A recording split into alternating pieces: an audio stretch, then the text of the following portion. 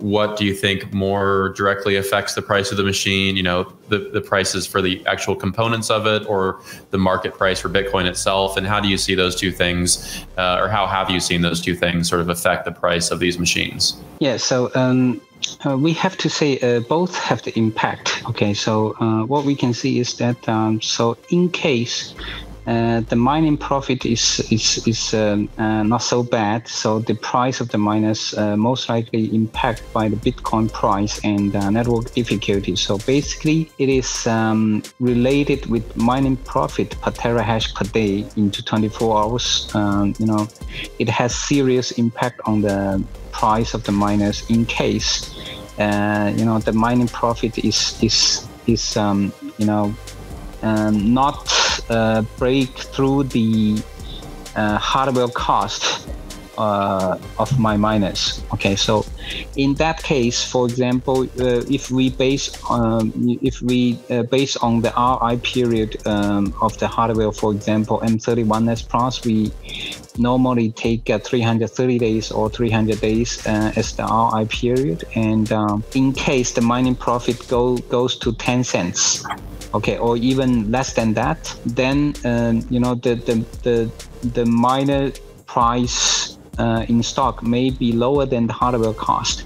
So in that case, we need to consider whether we sell those hardwares in in in profit loss or we we will just sell at um, minimum uh, you know the hardware cost. Okay, so uh, in case the mining profit is the you know at the uh, normal um, uh, uh, level. Okay, so then uh, the price will be based on most likely the mining profit per terahash per day. The price of the miners, you can see that you know the price are different for the miners available immediately and uh, you know the miners uh, you pre-order. Okay, so normally the pre-order price is cheaper than the price you know you get um, Im- immediately. Okay what I can see is in past three years when I get into uh, this industry, so the pricing of the, um, uh, the, the miners, you know, the principle not changed so much. So we normally price the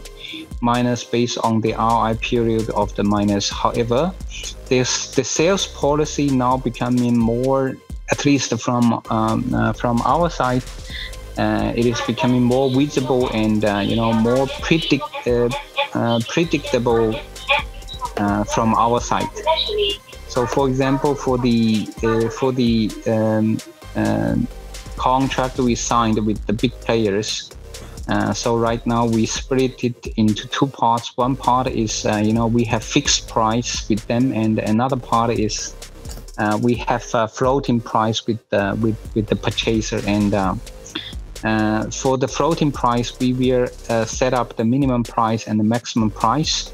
Okay, so the final consolidated price will be between the minimum price and the maximum price.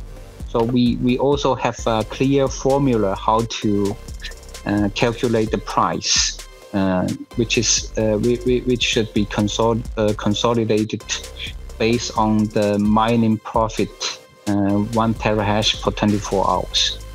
So um, now it become uh, more visible and uh, more transparent to the purchaser.